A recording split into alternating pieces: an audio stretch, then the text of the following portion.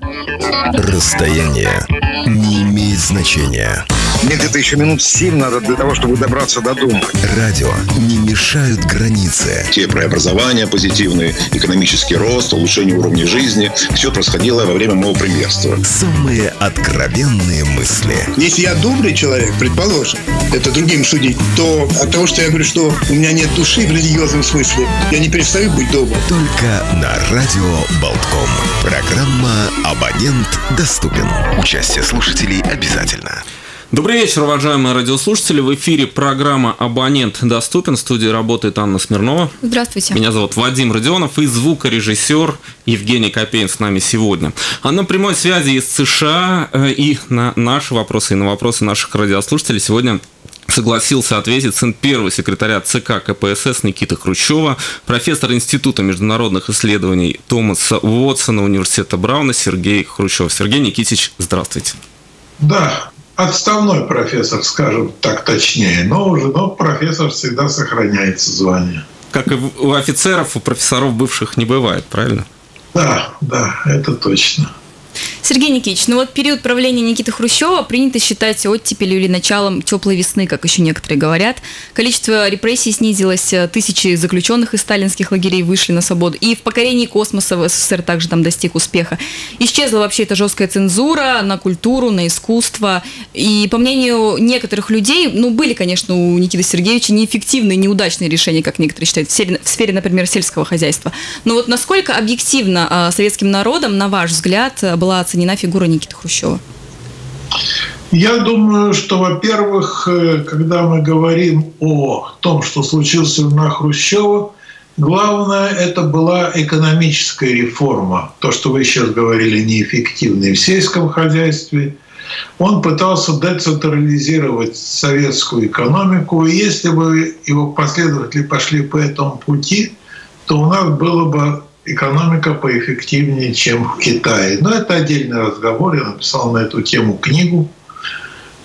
Вот. А что меня спросили? Ну, как на ваш взгляд, насколько объективно вот э, народ, да, обществом была оценена фигура Никиты Хрущева?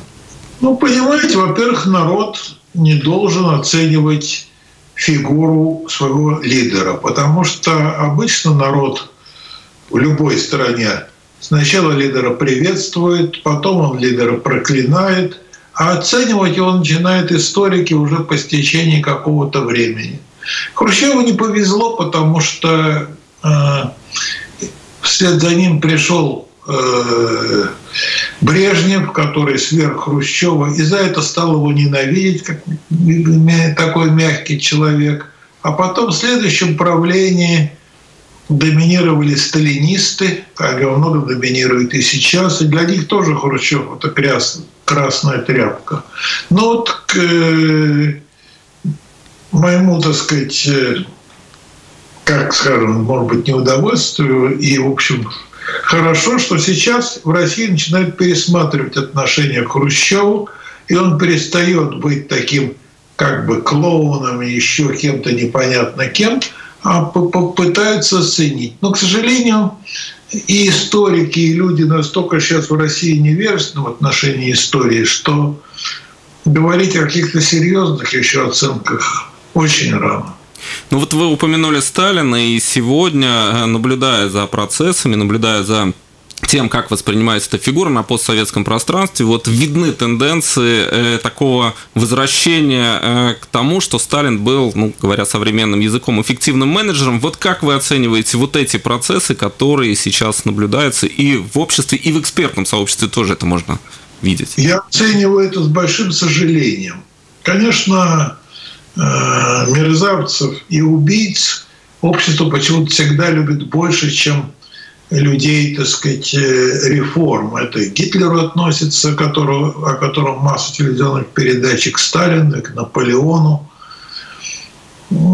Сейчас в России власти, которые, э, так сказать, вышли из недр КГБ, и они, конечно, хотят туда, так сказать, э, как-то легализовать людей, близких к ним по духу. Поэтому сейчас считается, что и Берия менеджер успешный, и Сталин успешный менеджер. Хотя я считаю, что Сталин был очень неэффективным менеджером. Он все делал э, с максимальными затратами. То есть он производил какие-то, так реформы, которые шли на пользу государству, но, но их можно было сделать значительно более такими ну, цивилизованными методами.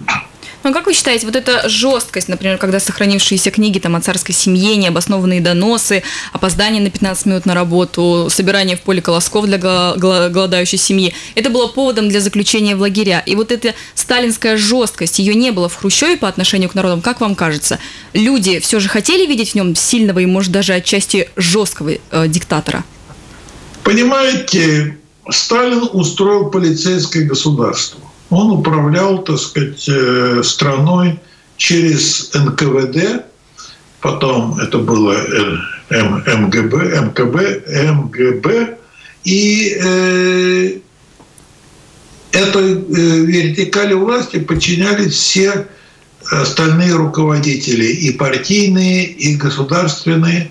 Хрущев попытался реорганизовать страну по нормальной бюрократической схеме, так сказать, от правительства через губернаторов, или тогда это назывались они секретарями обкомов, что, конечно, более разумно, потому что любой, даже самый хороший полицейский, он только полицейский, а губернатор, он должен иметь опыт и руководства территориями, и в Советском Союзе знать промышленность, знать сельское хозяйство, чего эти те люди не знали. Поэтому там шло все дело через аресты, через запугивание.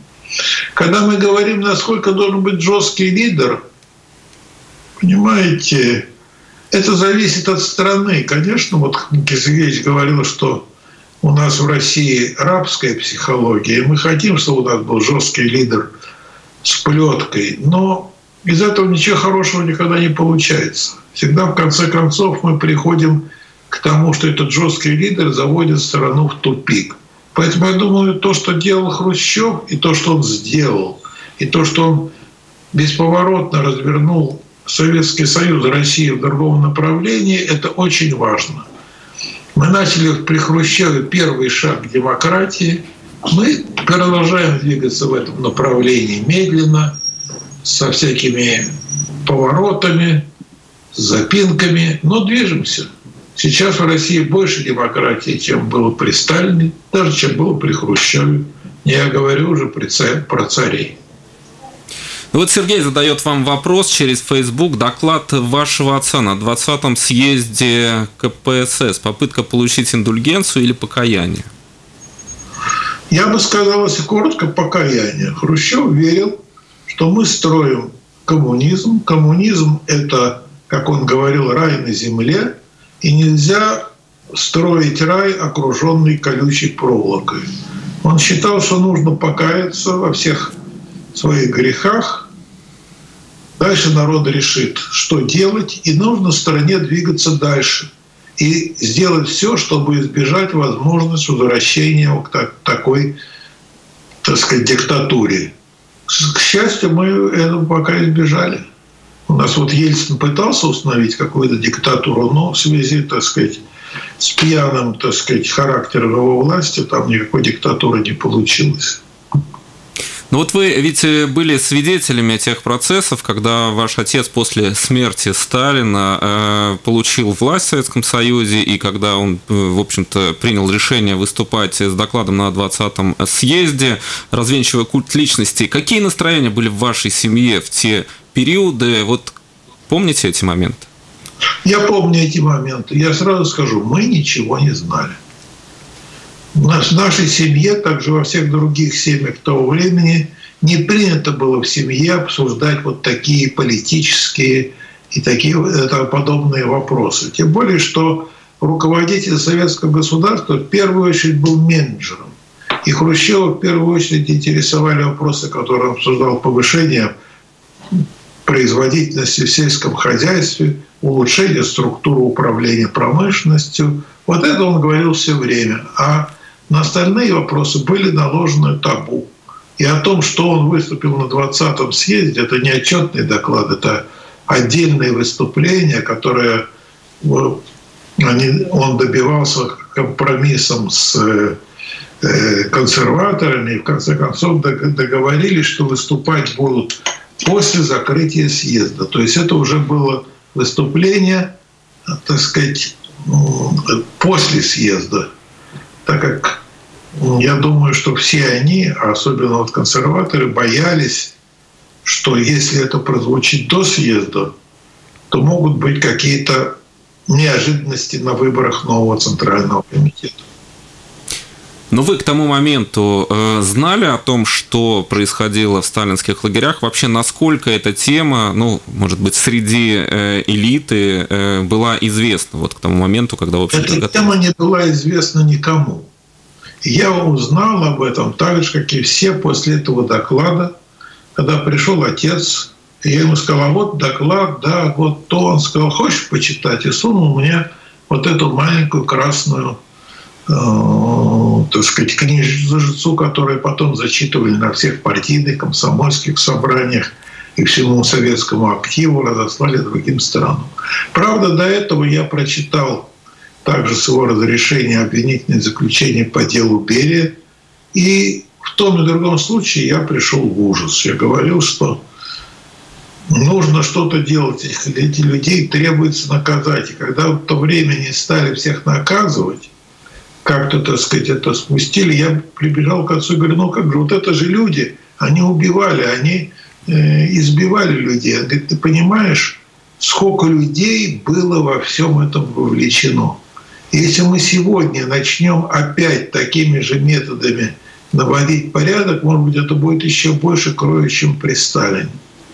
Наверное, проще, так сказать, вернее, легче или правильнее – наказать особенно, ну, так сказать, отличившихся, скажем так, а остальных не то чтобы простить, но забыть. И действительно, так сказать, судили и ареста, арестовали и расстреляли Берию, его ближайших заместителей, каких-то наиболее одиозных следователей. И на этом преследования закончились. Наверное, сейчас, как я да, мне уже за 80 я понимаю, что это правильно. Ну, вот кто-то считает, что Хрущев перестал устраивать свое окружение, и его власть не удержалась по причине того, что он был импульсивным и вспыльчивым. Вот он действительно был таким человеком? Нет, он не был вспыльчивым. Он был человеком эмоциональным. Он любил выступать без бумажки. Но все свои решения он принимал Э, после долгого обдумывания и обсуждения.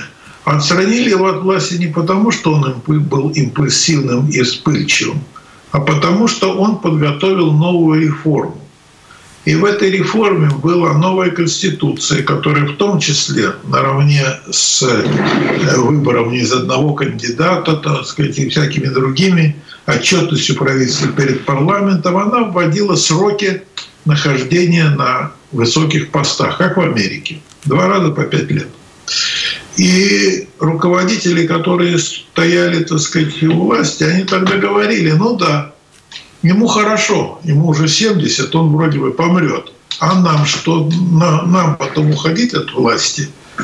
И перед тем, как вводить эту конституцию, Хрущев сказал, что я вот веду конституцию, потом я проведу реформу, которую мы подготовили, передать основную экономическую власть директорам, лишить власти райкома партии, вообще, так сказать, э, перевести управление, так сказать, экономическим специалистам. А после этого я уйду, так сказать, э, потому что уже прошло достаточно много времени, где-то в 65-66 году. А на следующем пленуме в ноябре должны были обсуждать эту Конституцию. И кроме того, Хрущев, ну, в общем, совершил ошибку. Он сказал, что мы должны обновить высшее руководство. Нужно приводить к власти молодых. Ну, куда мы? Нам уже мне 70, а вам всем по 60. Должны прийти к власти 40-летние. И тогда это высшее руководство решило, что либо мы, либо он. Либо мы его уберем до ноября, либо он нас уберет. Кроме того, Хрущев объезжал страну, Он был очень недоволен неэффективностью работы обкомов. И вообще уже он разделил обкомы. Они подчинились совнархозам, чего не знаю, такие советы народного хозяйства, которые были над областями, а область, обкомы были разделены на два. И более 50% секторей обкомов были уволены от власти. Но они оставались членами ЦК, которые выбирали, так сказать, высшее руководство. И эти люди тоже понимали, что на следующем съезде у них нет будущего. И либо они уберут Хрущева до следующего съезда, либо Хрущев избавится от них. Вот наступило такое единение между высшим руководством и такой средней бюрократией, и решили Хрущева убрать. Собрали плену, кстати, делается это первый раз, так сказать, совершенно законно, формально. И сначала президиум ЦК, а потом пленум проголосовал за отстранение Хрущева от власти. Я все это подробно написал, у меня издана книга, она называется «Реформатор». Сейчас она вышла вторым изданием в издательстве «Вече», три тома «Реформатор», «Хрущев – творец оттепели» и «Хрущев до закате власти». Там все это подробно написано. Почитайте. По-моему, интересно. Ну вот, кстати, э, недавно достаточно громко прозвучал фильм, сатирический фильм «Смерть Сталина», где в общем, показывали, как действовало себя ближайшее окружение э, уже скончавшегося э, главы Советского Союза. И э, ну, многие его не приняли, в России его показ запретили, но тем не менее есть такие мнения, что он как раз в такой сатирической, гротескной форме показал, что, собственно, происходили и как чувствовали себя люди, вот когда Сталин умер. Вот насколько, на ваш взгляд, это такая, если не объективная, то близкая к реальности попытка показать вот эти события через сатиру? Знаете, через британский фильм. Это да. британский юмор о ком-то еще. Неважно, кто это, латыши, русские или еще. конечно, они ничего не понимают в этом деле. Когда они делают сатирические фильмы о себе, о Черчилле, они делают это с понятием «я люблю британский юмор». А это э, не сатира, а некоторое, так сказать, такая политическое издевательство над э, другой страной. Это неуважение к этой стране, и я считаю, что правильно в России его запретили. Тем более, что там написано масса глупостей, так сказать. Я его не читал, но посмотрел. Там везде бегает этот самый Жуков, который выглядит, так сказать, тоже довольно, так сказать, странно. Тогда, когда Жуков в то время был командующим Уральским военным округом. Его в Москве близко не было. Поэтому можно выдумать все, что угодно. Про латышей, про русских, но лучше, когда эту сатиру сочиняют люди о себе. Тогда они понимают, что он не делает. А это такой же фильм, как в советское время сочиняли сатиру на американцев. Ну, американцы глупые, ничего не понимают, так сказать. И вообще, так сказать, во главе стоит толстый или худой дядя Сэм в своем этом самом. У нас есть... Я считаю, что все эти вещи, конечно, можно смотреть, но мы и так сейчас люди невежественные собственной истории. А это еще более подогревает это невежество. Когда историю пишут люди, которые совершенно ничего не понимают, вроде этого Резуна Суворова, который так сказать, зарабатывает деньги, так сказать, в угоду каким-то политическим силам, так сказать. Он умеет брать, но он же врет. И здесь врут. Но я ничего не могу сказать, так сказать, в конце концов, BBC – это государственная компания э, Великобритании, и она делает это, исходя из своих национальных интересов. Сейчас сделаем небольшой перерыв на новости, а потом вернемся и продолжим наш разговор. Сын Никиты Хрущева, Сергей Хрущев, с нами на прямой связи из США. Оставайтесь с нами. В следующей части начнем принимать ваши звонки. Вы слушаете «Радио Болтком». Добрый вечер. В эфире программа «Абонент доступен». И сегодня с нами на удаленной связи по скайпу из Соединенных Штатов Америки советский и американский ученый, разработчик проектов крылатых и баллистических ракет, сын бывшего первого секретаря ЦК КПСС Никиты Сергеевича Хрущева, доктор технических наук и профессор Сергей Хрущев. Сергей Никитич, здравствуйте. Здравствуйте. И у нас есть звонок, с него и начнем эту часть программы. Здравствуйте, как вас зовут? Добрый вечер, Лариса. Да, Лариса. Я хотела вот что спросить. Насколько Никит Сергеевич был подвержен влиянию, и насколько вот у него советники, они ему помогали или мешали? И был ли у него кто-то, на кого он мог полностью положиться? Ведь, наверное, после отставки он вам рассказывал об этом. Спасибо. Спасибо вам. Ну, понимаете, я опять вас отошлю к своей книге, которую я говорил в предыдущей. Я там много это написал. Э, Никита Сергеевич, естественно, поддавался э, влиянию. Никита Сергеевич, естественно, имел советников, но он использовал советников, так сказать, которых набирался идей, а идеи он проводил в жизнь свои собственные. Так сказать, он любил советоваться с учеными. Он создал при себе такой научный совет из самых ведущих, так сказать, академиков, и председатель этого совета сидел у него рядом в кабинете. Поэтому, когда появлялись какие-то сложные вопросы, он призывал его. Это был вот э, академик-математик, бывший председатель э, научного центра в Новосибирске, сейчас я забыл его фамилию. Вот. Он, когда он проводил реформы, конечно, с, так сказать, э, полагался на, и на специалистов, на ученых. Если это были ракеты, то это он, ракетчики, которые имеют к нему прямой доступ. Если это была химия, то это был академик Семенов. Если это была металлургия, то он общался с Бардиным. Понял. Да, мы вас слушаем.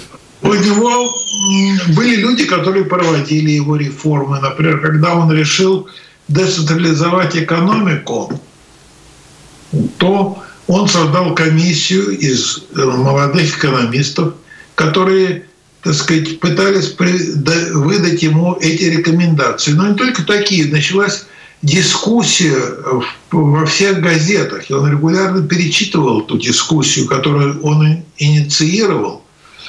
Так сказать. Поэтому, чтобы у него был один какой-то советник, и он следовал его советам, и он отрабатывал чужие идеи, нет. Он был руководителем, который впитывал в себя самые разные идеи и пытался, так сказать, их сопоставить, переварить, а потом уже продвигать как свою собственную, собственную идею. У нас еще есть звонок. Здравствуйте. Слушаем вас. Добрый вечер. Э, большое спасибо за возможность задать вопрос. Э, два вопроса э, к вашему гостю. Первый вопрос. Скажите, пожалуйста, на отставку Никиты Хрущева насколько повлиял Новочеркасский расстрел, так называемый? И второй вопрос. Насколько... Давайте сначала я отвечу на первый вопрос, просто чтобы второй не забыть, а я не возражаю. Насколько повлияла на трагедия в Новочеркасске? Да она, конечно, повлияла. Понимаете, в чем дело? Э, российская экономика была советская, централизованная, совершенно ну, такая э, неестественная. И Хрущев пытался сделать, как он говорил, так сказать, экономику так, чтобы производитель был материально заинтересован, то, то есть получал свою прибыль. А для этого требовалось так сказать, чтобы цены выстраивались э, прозрачно. То есть была такая тогда ценовая реформа предложена э, профессором Белкиным. Сказать, поэтому если вы производили, допустим, хлеб, то вы должны были, так сказать, продавать его, естественно, так сказать, так, чтобы производитель был заинтересован и продавец был заинтересован. Если вы продавали масло, то было масло заинтересовано. А э, Сталин создал систему, когда это все производилось, как говорилось, за палочки. И вот Хрущев с первого дня начал увеличивать закупочные цены, отменил э, часть налогов на это дело. И в 1962 году была первая попытка привести вот эту цены единого уровня, они назывались, так сказать, какому-то порядку. Были на 40-50% повышены закупочные цены на масло, молоко, мясо. И одновременно попытались повысить цены розничные. Это вызвало бурную отрицательную реакцию, о чем все помнят. А в Новочеркасске это вызвало даже вот э, забастовку, а потом э, начались демонстрации. Э, власть стала уходить из рук областных руководителей, и получилась эта трагедия. А как э, произошла стрельба, неизвестно. До сих пор известно, что никто ее не давал приказы, никто не давал разрешения стрелять. Быстрее всего... Но там же было даже засекречено достаточно долго.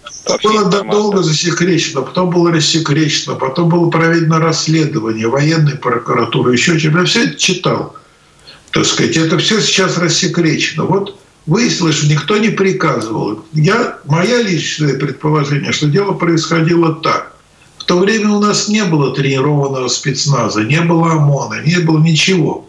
И на то, чтобы сдерживать вот эту вот толпу, послали просто солдат вот из ближайших, ближайших полков. Это 18-летние молодые люди. И на них наседала агрессивная толпа. Причем в толпе были естественные инициаторы. Естественно, были тоже люди не э, очень сбалансированные, которые кричали, не бойтесь, ничего, они стрелять не будут, у них патроны холостые. И вдруг началась стрельба. Вдруг бу, автоматы начали стрелять. Э, площадь была набита людьми. И так как я считаю, что относительно количество жертв было небольшое, то значит, командирам удалось так сказать, навести порядок, остановить эту стрельбу. Это была трагедия, ее переживал Хрущев, переживали все. Но, к сожалению, вот это вот внедрение нормальных экономических отношений на этом сильно застопорилось. Потому что уже ну, произошла эта трагедия. И Хрущев вернулся опять к к реформе уже с другой стороны только в 1964 году, но ему провести эту реформу не удалось. Его отстранили от власти не из-за новочеркасских событий, а из-за того, что он в первую очередь решил ввести новую конституцию, ввести ограничения сроков пребывания у власти, что испугало его ближайших соратников, а также уменьшить власть обкомов партии. И он еще кроме всего прочего, обижая страну, признавая, так сказать, работу многих обкомов необъективными, неэффективными, уволил более 50% обкомов, которые оставались членами ЦК, а члены ЦК выбирали высшее руководство. И они тоже стали перед дилеммой. Либо э, Хрущев мы уберем сейчас, либо Хрущев берет нас после следующего съезда. Ну вот собрали плену и проголосовали и убрали Хрущева. Все произошло легитимно.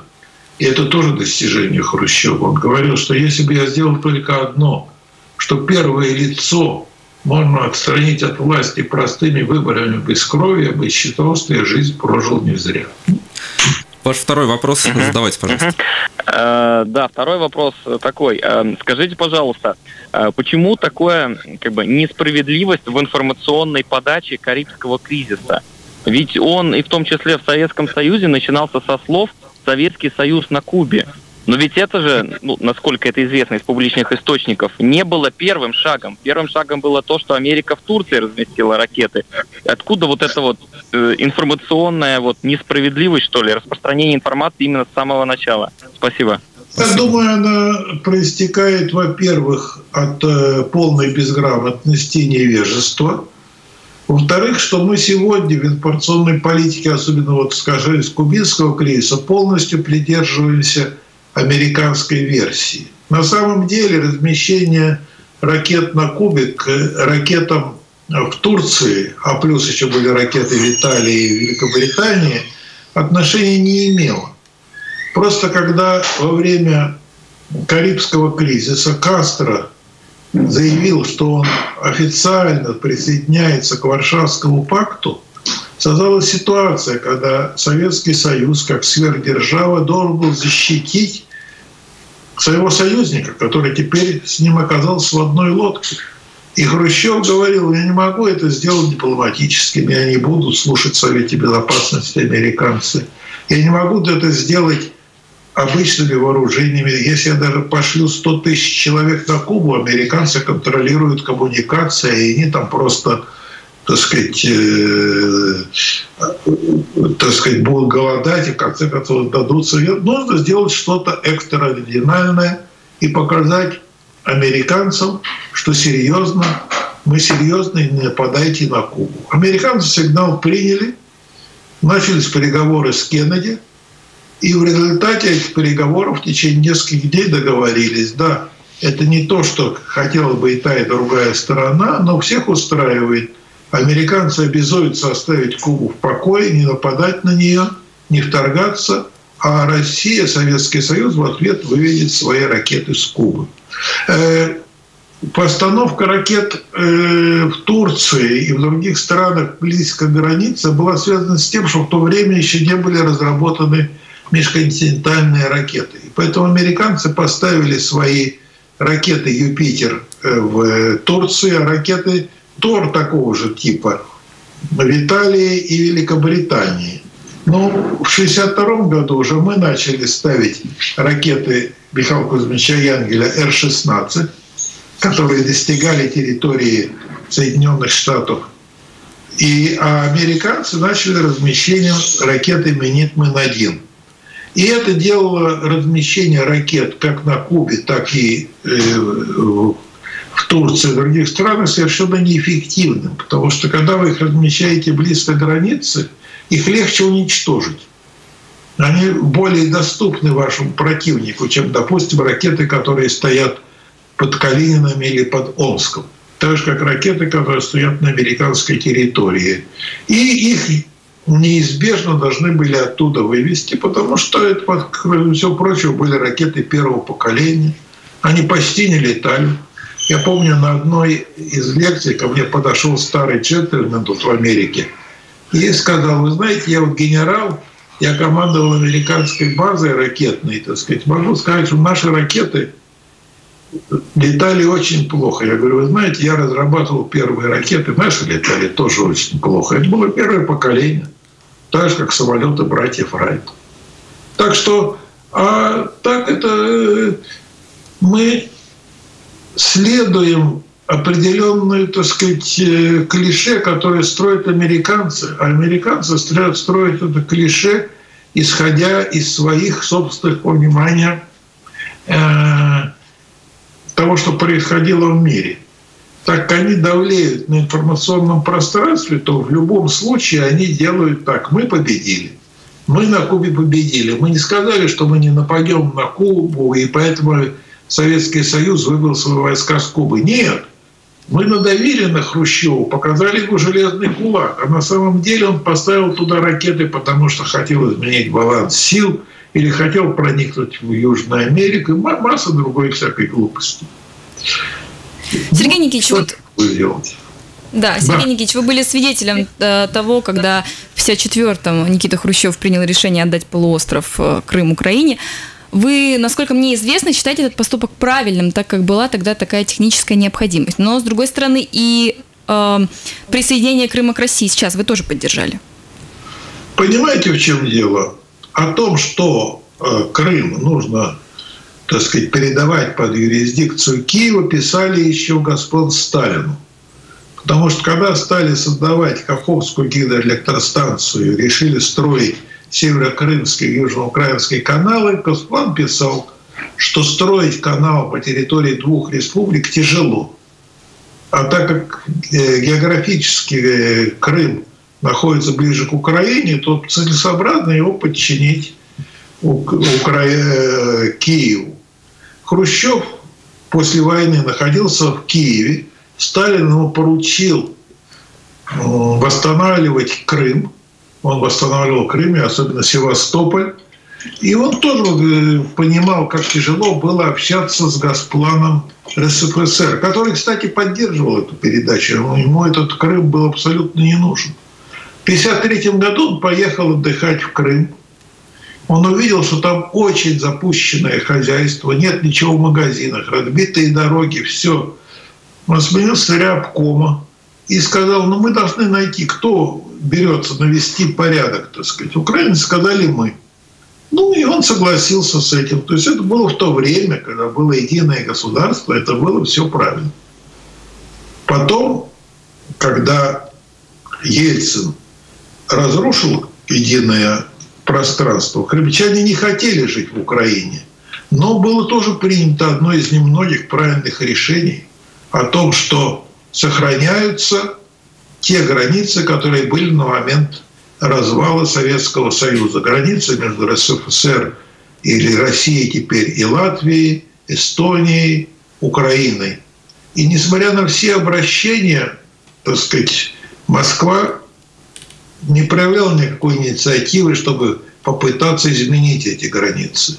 Но когда был совершен государственный переворот в Киеве, а совершали его американцы, начались, так сказать, э, вот эти вот волнения – и крымчане проголосовали, провели референдум, на что они имели такое же право, как и латыши в 1991 году, и эстонцы, и сами украинцы. С одной стороны, никакого права не имели, а с другой стороны, так сказать, они выразили свое желание, и латыши теперь живут независимой Латвии, эстонцы живут в независимой Эстонии – а крымчане решили отъединиться от Украины и присоединиться к России. Я уважаю их выбор, так же, как и ваш выбор. 672-12-93-9 и 672-13-93-9, телефоны прямого эфира в нашей студии. Вы также можете звонить нам и задавать вопросы нашему сегодняшнему гостю. У нас на прямой связи из США сын Никиты Хрущева Сергей Хрущев. Ну, кстати, еще один вопрос из интернета. Голодомор на Украине. Как э, вы относитесь, э, как вы можете прокомментировать это событие? Это ужасно. Кто виноват как можно, там был? Как, как можно э, относиться, когда люди умирают от голода? Когда умирают от голода из-за того, что разрушили восстанавливающееся сельское хозяйство, отобрали все у людей, так сказать, выслали эффективных э, так сказать, э, хозяев, которых называли кулаками, куда-то на смерть и обрекли на смерть людей. И на Украине, и в Поволжье, и везде. Это ужасно. Это преступление, которое не, не прощается. Это не было, как сейчас э, пытаются объяснить украинцы, направлено против украинской нации. Это было, так сказать, преступление против всех жителей Советского Союза, так сказать, это и против украинцев, и против молдаван, и против, э, так сказать, населяющих людей, населяющих по Волжье, так же, как и Голодомор 1947 года, когда Сталин отобрал хлеб весь, и наступил голод на Украине. Так же, как голод наступил тогда и, опять же, в той же самой Молдавии. Никита Сергеевич рассказывал, секретарь обкома э, в Одессе Кириченко, говорит, я вот заехал, так сказать, в одно село, зашел в хату, а там сумасшедшая тетка сидит. Уже с ума сошла от голода и приговаривает, так сказать, сидя над этим большим таким котелком. Ну вот Манечку вчера съели, сегодня Ванечку съедим. Ну что, что я могу сказать? Да, у нас есть звонок, Сергей Никитич, еще радиослушатель на линии. Здравствуйте. Добрый день. Я, конечно, могу путать, но э, из истории знаю, что Сталин э, сделал это после того, как ему э, Запад выдвинул условия. Не золото, только хлеб. То есть Запад всегда пытался развалить Россию, если это нельзя сделать извне, то это надо сделать изнутри. И это был просчитанный ход. А, Сталин понимал, что нужна индустриализация, что будет война. И без там э, станков, тепловозов он не сможет эту войну выиграть. И Какой у вас вопрос? Извините, знает, просто очень мало времени остается. А, вопрос вопрос о, о том, что все-таки это, наверное, не вина, скажем, конечно, это вина, гибель людей, смерть людей, это вина Сталина. Но к этому его подтолкнули, и не было другого. Вы знаете, во-первых, никакого ультиматума никакой Запад не выставлял насчет хлеба и ничего. Никакого. Платили золотом за машины, продавали картины, еще чего-то. Никаких не было ультиматумов а просто э, наступило, так сказать, очередное экономическое такое, ну, период кризиса, когда Сталин, как вы правильно сказали, решил обобрать крестьян для индустриализации, кстати, очень неэффективно проведенной индустриализации, так сказать, и повысил налоги, понизил цены, образовались ножницы, и производство э, товаров сельского хозяйства стало невыгодным крестьянину в то время, до, до, до коллективизации. И появилось, э, так сказать, э, ограничения, появились, так сказать, кризисные явления. Можно было принимать решения так, чтобы преобразовать это, сделать это все выгодным. Сталин же решил все повернуть полицейским образом. Так сказать, отобрать все, отобрать весь хлеб и сделать производство, сделал производство неэффективным. Да? Это образовал голод, потому что люди, которые умели работать, оттуда ушли. И это образовал тот кризис, с которым мы с трудом справились через 40 лет в сельском хозяйстве, которое у нас в этой стране было все время неэффективно. Все было, все время всего не хватало. А тогда вполне можно было разрешить этот кризис каким-то более цивилизованным способом. Поэтому Сталина никто не подталкивал, кроме его людоедского характера. Спасибо вам большое, э, Сергей Никитич, что нашли время и вышли с нами на прямую связь. Это была программа «Абонент доступен». У нас на прямой связи был сын Никиты Хрущева, Сергей Хрущев. Эфир провели Анна Смирнова, Вадим Родионов и звукорежиссер Евгений Копейн. Всего доброго. До свидания.